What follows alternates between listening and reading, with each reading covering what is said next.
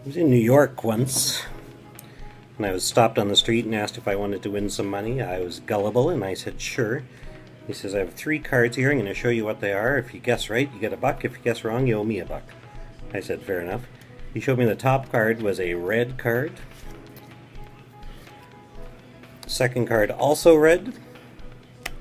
And the last card is blue. He says, now that's the important card. That's the card you want to watch.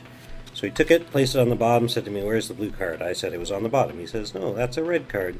So I said, well, there's only one, so if it's not on the bottom, it's probably on the top. He says, no, that's red too.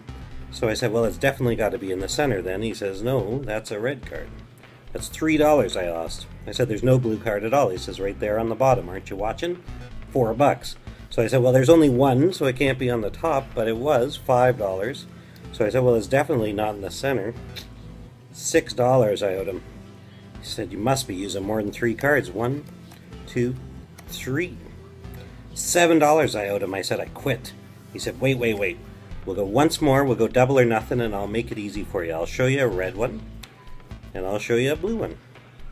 If you tell me what this one is, you get your money back. If not, you owe me double what you owe me now.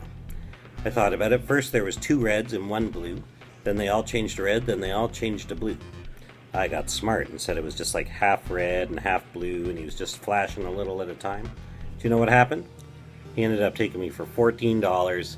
It's a big scam. Never do it. A public service announcement from Jon the Magic Guy.